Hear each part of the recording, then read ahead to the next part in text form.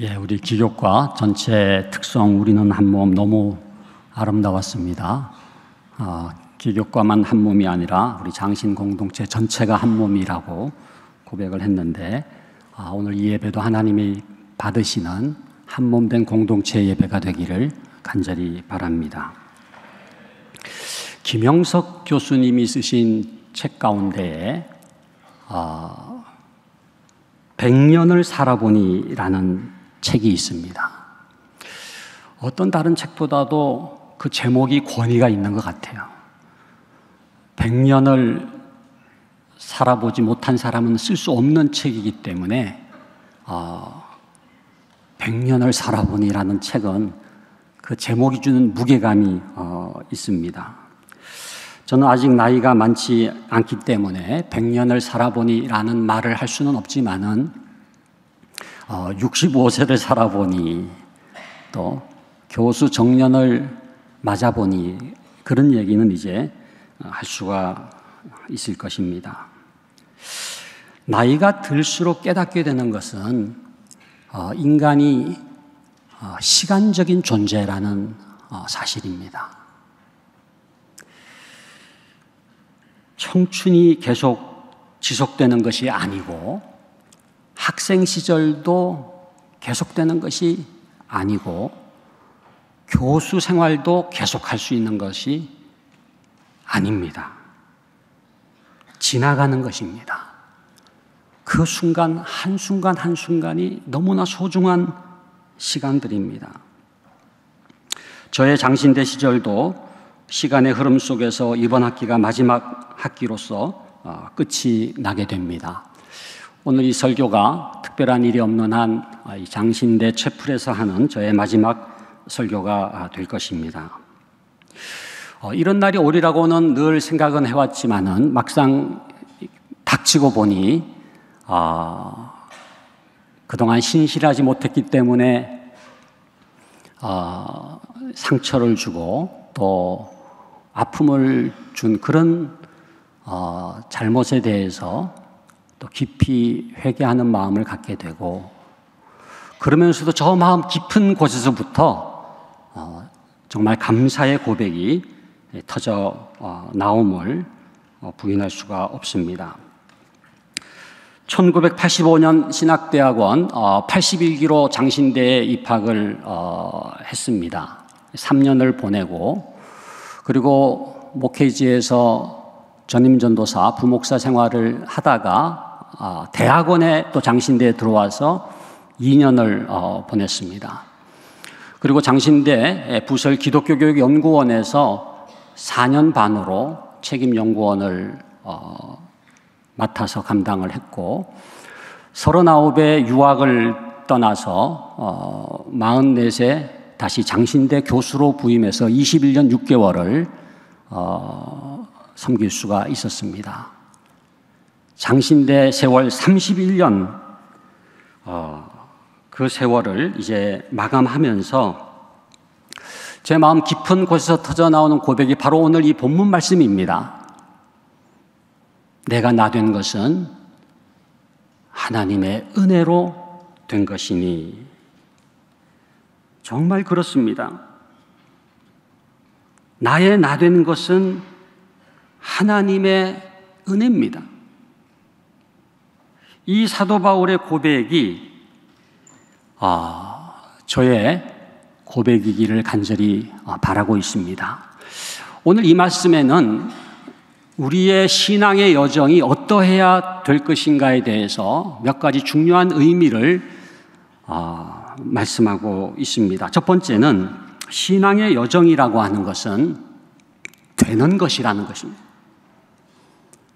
오늘 말씀에 이 내가 나 된 것은 그리고 하나님의 은혜로 된 것이니 그 되었다고 하는 표현이 반복해서 사용되고 있습니다만은 정말로 우리의 삶이라고 하는 것이 신앙의 여정이라고 하는 것이 되는 것이구나.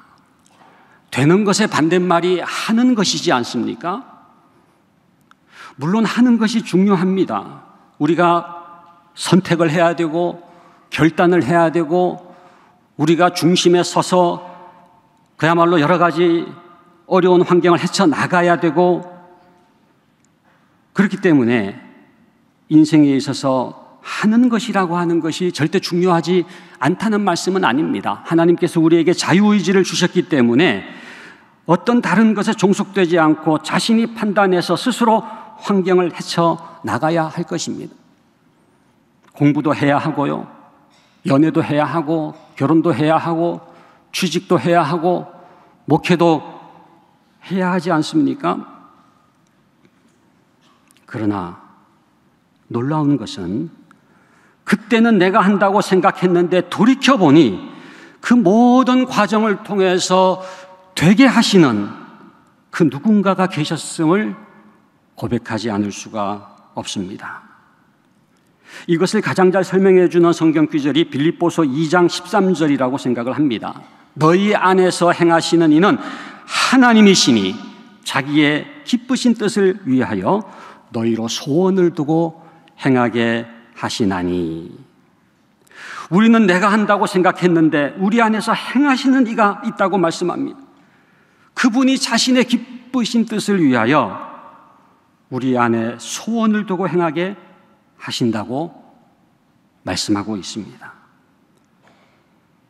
나는 내가 원해서 그 일을 내가 한다고 생각했는데 그 원하는 마음을 주신 분도 하나님이시고 그래서 그 행함을 통해 결국 그분의 기쁘신 뜻을 이루어 주신다고 말씀하고 있는 것입니다. 결국 하는 것이 아니라 되는 것임을 보여주고 있습니다.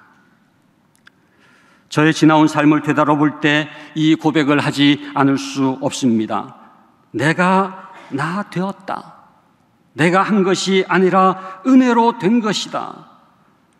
내가 장신대를 선택하여 입학하고 내가 기독교 교육학을 전공하고 내가 교수를 한 것이 아니라 하나님의 섭리와 은혜를 따라 장신대에 입학하게 되었고 기독교 교육학을 하게 되었고 장신대 교수가 된 것이라는 사실입니다. 나의 삶의 여정에 있어서 진정한 주체는 내가 아니라 하나님이심을 다시 한번 고백하지 않을 수가 없습니다. 이 시간 되게 하신 하나님을 찬양합니다. 우리 모두 지금까지 삶을 인도하신 분이 하나님이심을 고백하며 마음 깊은 곳에서부터 그 하나님께 감사할 수 있기를 간절히 바랍니다. 두 번째는 내가 나 되었다는 이 사도 바울의 고백 속에는 진정한 자신이 되었다는 의미가 담겨져 있습니다. 나의 진정한 정체성이 이루어졌음에 대한 감사의 고백입니다. 내가 나 되었다라고 하는 그 문장 앞에 있는 나라고 하는 것은 일반화된 타자로서의 나이고 뒤에 있는 나라고 하는 단어는 진정한 나인데 참된 자아인데 그렇고 그런 삶을 살 수밖에 없는 그런 일반화된 타자의 삶이 아니라 내가 나된 것은 true self, 진정한 정체성을 갖게 된 것은 하나님의 은혜라고 고백을 하는 것입니다.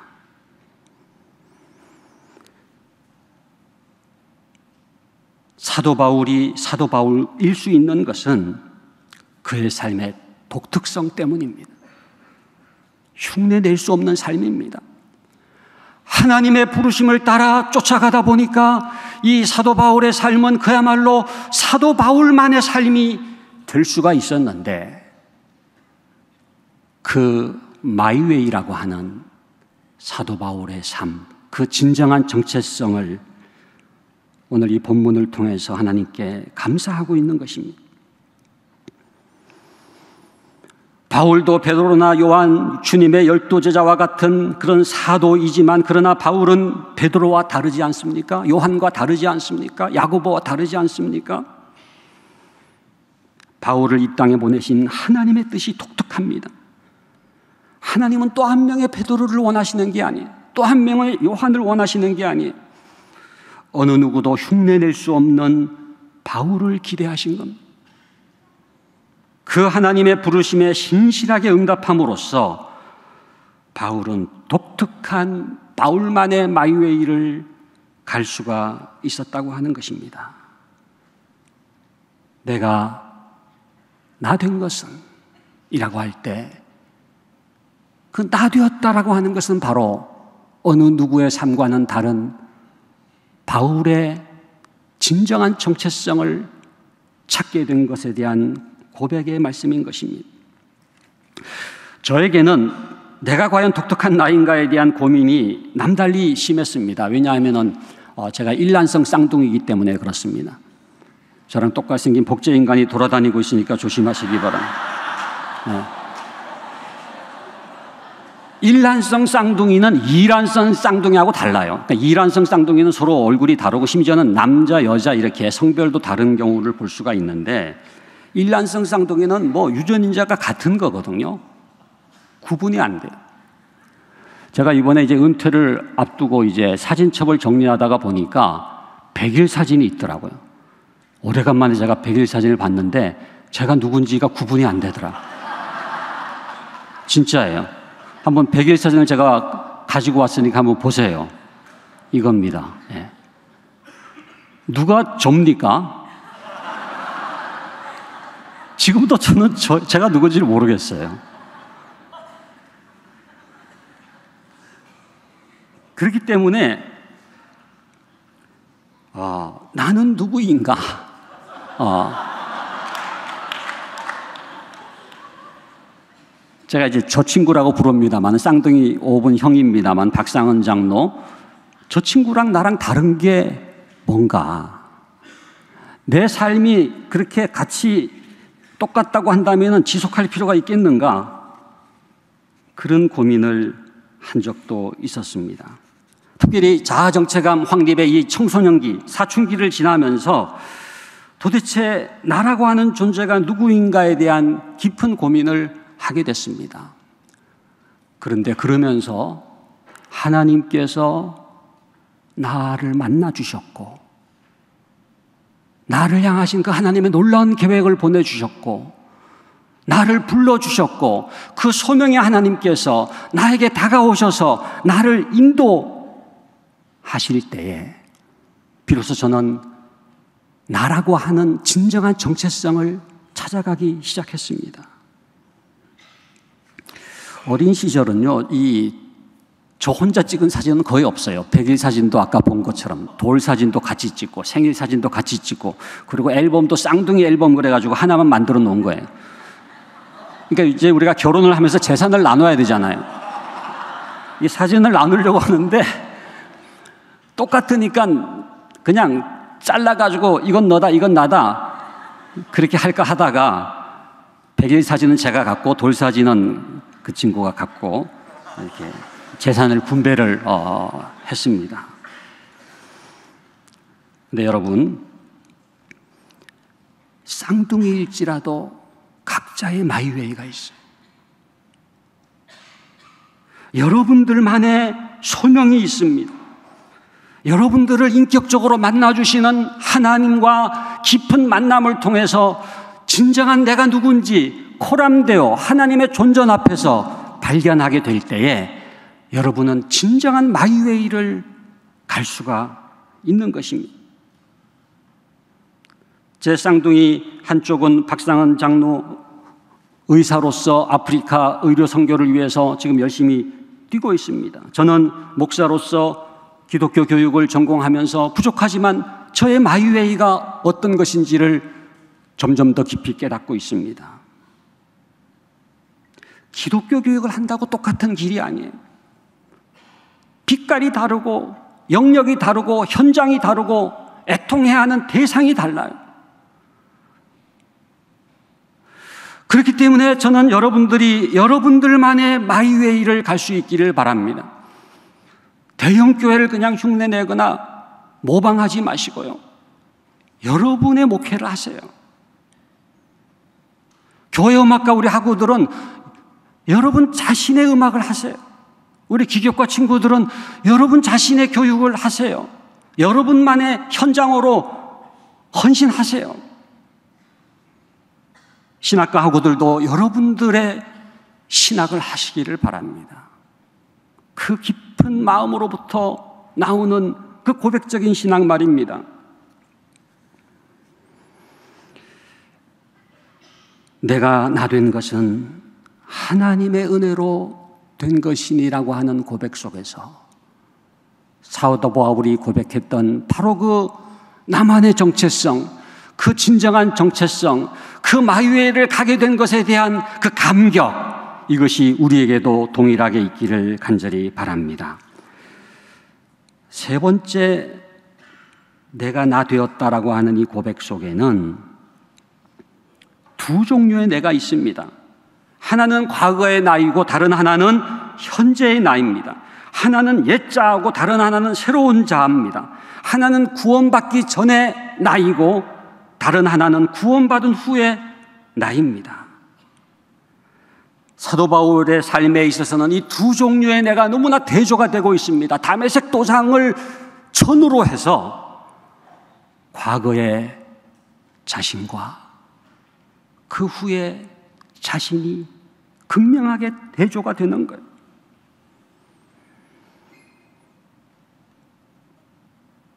오늘 말씀 앞부분에 보면은 이렇게 되어 있습니다. 15장 8절에 보면은 만삭되지 못하여 난자 같은 나. 9절에는 지극히 작은 자. 하나님의 교회를 핍박한 자. 그런 옛자로 살았던 자신이 사도행전 9장에서 말씀하는 바그 담에색 도상에서 위로부터 한 줄기 빛을 비추임을 받았을 때에 새로운 나로 변화가 되지 않습니까? 담에색 이후의 삶도 그냥 갑자기 성숙한 사도가 된 게 아니지 않습니까? 계속해서 성화의 과정을 통해서 점점 더 미성숙에서 성숙의 단계로 나아가지 않았습니까?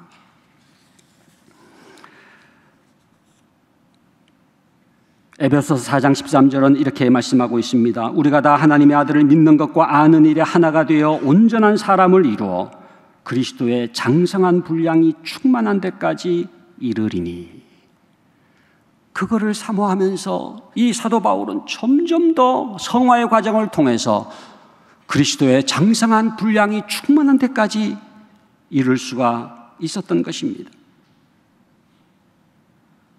그런 자신의 삶을 돌아보면서 내가 나 된 것은 하나님의 은혜로라고 고백을 하는 것입니다. 저도 저의 삶을 돌아볼 때 정말 나약하고 미숙했는데 점점 하나님의 은혜로 다듬어지는 거예요. 여전히 지금 부족함 투성이지만 그래도 전과 비교하면 조금씩 성숙해 갈 수 있었던 것도 하나님의 은혜였음을 고백하지 않을 수가 없습니다. 제가 신대원 시절에 찍은 사진이 그렇게 많지는 않습니다만은 어, 이런 사진이 있더라고요. 어, 친한 친구 두 명과 같이 찍은 신대원 시절의 사진인데, 아, 예. 이 사진 보면은 맨 오른쪽에 있는 게 저거, 왼쪽에 두 사람 누군지 아시겠습니까? 홍인종, 안교성. 예. 예. 우리의 영원한 81기 동기. 이 사진을 보면은 그런 고백이 절로 나와요. 내가 나 된 것은 하나님의 은혜로라. 이 신대원 시절에 어, 정말 어, 여기 보면은요 이게 지금 구관 난간입니다. 그리고 옆에 보이는 게 아, 이 지금 소양관이거든요. 종합관이고 그 뒤에 엘림 기숙사 옛날 허물었던 지금 허물어진 엘림 기숙사 보입니까? 근데 그 어, 배경으로 해서 이 찍은 사진입니다만은 또 하나의 사진이 있는데 이 사진은 이제 아 예. 저 위에 서 있는 분이 이재철 목사님입니다. 예. 주님의 교회 또 백주년 기념교회를 담임하셨던 이재철 목사님이 저희 동기고 어, 그 옆에가 이규민 교수님. 예. 예. 그리고 맨 앞에 또 어, 오른쪽이 안교성 교수님. 예. 그렇게 아, 다른 분들도 어, 목회 현장에서 너무나 많은 수고를 하고 계십니다만은 어, 예, 사진을 그냥 이제 안 보여주셔도 되겠습니다. 예. 신대원 시절에는 제가 좀 교만했던 것 같아요. 그때는 한국 교회를 내가 개혁할 것이다. 그리고 세계 교회를 재편하겠다. 그래가지고 저희들이 모여가지고 뭐 토론도 하고 그랬습니다만은 지금 생각하니까 말과 행동이 같지가 않았어요. 이 입술의 고백과 삶이 일치하지가 않았어요.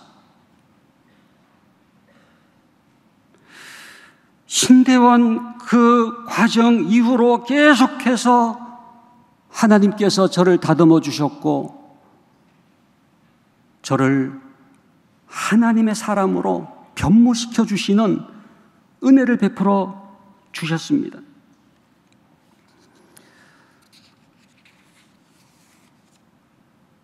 토기장이신 하나님께서 그냥 깨뜨려 버려도 되는데, 그냥 버려버려도 되는데, 우리를 그렇게 하지 않으시고, 한 번 택하신 자를 끝까지 세워주시는, 다듬어 주시는 거예요. 빚어 주시는 거예요. 그래서 하나님 나라의 이곳저곳에 쓰실 수 있는 존재로 만들으셔서 당신의 사역을 맡기시는 줄로 믿습니다. 오늘 본문에 내가 모든 사도보다 더 많이 수고하였으니라고 하는 그러한 고백은 저에게는 적용될 수가 없다고 생각을 합니다. 내가 모든 교수보다 더 많이 수고하였노라. 그렇게 말할 수가 없죠. 정말 제 주위에는 저보다 훨씬 더 많이 수고한 교수님들이 너무너무 많습니다. 그러니 이 고백은 제게 해당되는 것이 아니라고 생각하고, 그러나 그래도 내가 한 것이 있다면, 약간의 수고라도 한 것이 있다면은, 그러나 그것도 내가 한 것이 아님을 사도 바울처럼 고백하기를 원합니다. 내가 한 것이 아니요. 그렇습니다. 내가 했다고 생각한 것이 결국은 내가 아님을 고백할 수밖에 없습니다. 그것마저도 하나님께서 하셨습니다. 때로 나는 외롭게 내가 홀로 그 일을 했다고 생각한 적이 있습니다. 그러나 오늘 사도 바울의 고백처럼 홀로 있었던 것이 아니라 나와 함께 하신 하나님. 그 하나님께서 그때에도 나와 함께 하셨고 나를 인도하셨던 것입니다. 내가 한 것이 아니요 하나님입니다. 이 고백이 우리의 고백이 될 수 있기를 간절히 바랍니다. 오늘 본문에서 마지막 쇠기를 박는 단어가 있습니다. 그것이 바로 오직이라는 단어예요. 오직. 내가 한 것이 아니요 오직 나와 함께 하신 하나님의 은혜로라.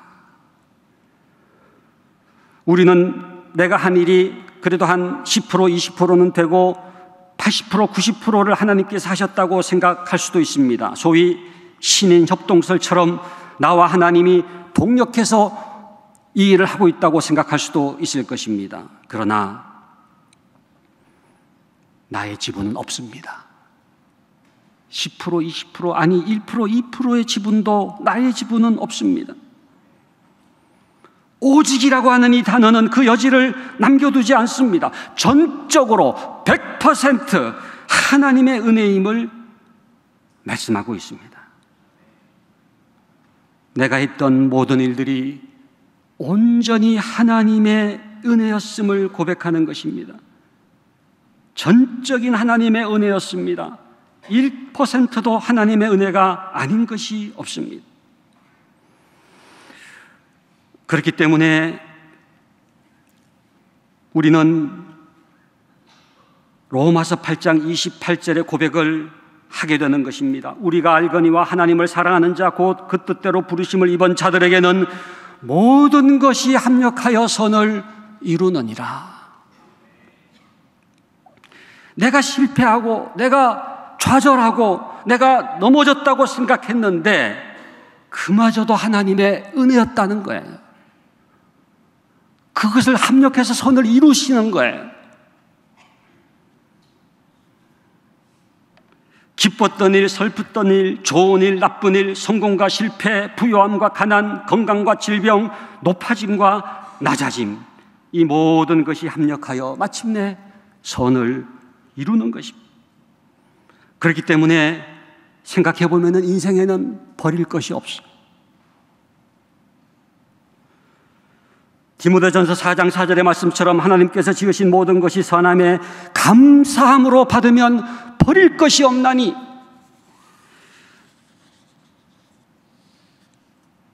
약함 속에도 은혜가 있고요. 고난 속에도 사랑이 깃들어 있고요. 실패 속에도 하나님의 뜻이 있고요. 절망 속에도 하나님의 희망이 살아 역동하는 것입니다. 제가 고등학교 1학년 입학할 때는 평준화 이전이었기 때문에 시험을 쳤는데 제가 1차에서 떨어졌어요. 2차로 갔기 때문에 제가 미션 스쿨로 갈 수가 있었고 지금 기독교 학교 운동을 하는 입장에서 보면은 내가 고등학교를 기독교 학교를 다닐 수 있었던 것이 얼마나 큰 은혜였는지를 깨닫게 되는 거예요. 1차에서 떨어졌기 때문에 그때 입을 뒤집어 쓰고 울었더랬지만은 그 실패가 실패가 아닌. 제가 교육학을 공부하고 한국교육개발원에도 있다가 대학에서 교육학을 가르치다가 나중에 신대원에 들어왔지요. 그러면서 제가 교육학을 딱 버렸습니다. 이제는 교육학은 굿바이. 그리고 저는 이제 신학을 한다고 생각을 했는데 그 교육학을 주님께서 보혈에 적셔가지고 다시 주셔가지고 기독교 교육을 위해서 요긴하게 사용할 수 있도록 하시더라고요. 그렇기 때문에 지나온 인생을 돌아볼 때에 어느 하나 버릴 것이 없어요. 버릴 것이 없어요.